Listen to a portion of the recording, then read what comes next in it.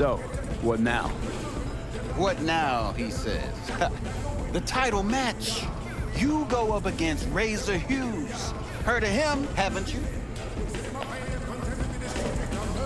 Met him, actually. Don't know what's bigger, his biceps or his ego. And you're surprised. He's a three-time heavyweight champ. Do I even have a shot? a good question. You could be. Very good. This guy, he's a machine. Carbon fiber, titanium bones, hydraulic joints. All optimized by Night City's best bioengineers. I don't know. Maybe Viktor will have some tips, or tricks. But listen, I'll be honest. Don't look too good for you. But maybe that's better, you know? If Razor's winning anyway, maybe you're looking to earn a little something on it. Hit me with it.